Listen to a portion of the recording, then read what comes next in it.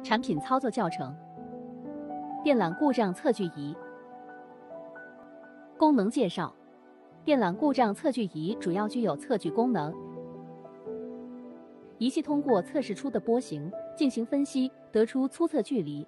里面包含两种模式：低压脉冲模式和高压闪落模式。低压脉冲模式下，可以测电缆长度距离、电缆断路距离及电缆短路故障点距离；高压闪落模式下，可以测低阻故障和泄漏性高阻故障距离。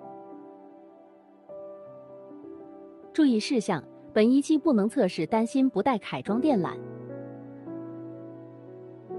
附件介绍：电缆故障测距仪测试主机一台，取样盒一个，双 Q 线一个，单 Q 线一个，红黑夹子。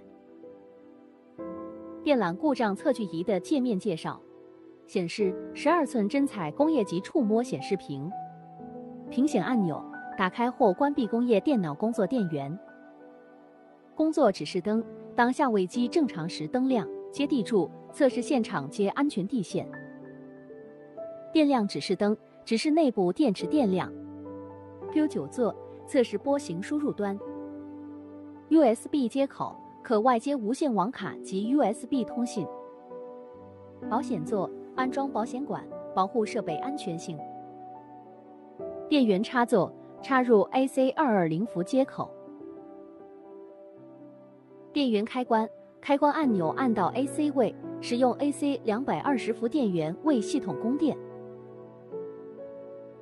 开关按钮按到 DC 位，使用内部电池为系统供电；开关按钮按到 DC 位，插上 AC 两百二十伏电源是给电池充电。开机状态下的电缆故障测试仪将强制关机。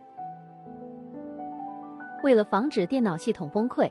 请关闭电缆故障测试仪后再进行充电。开关按钮按到零位，断开电源。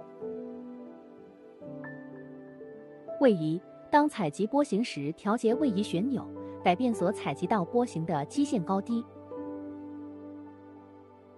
振幅：当采集波形时，调节振幅旋钮，改变所采集到波形的幅值大小。自检：按此可以复位下位机。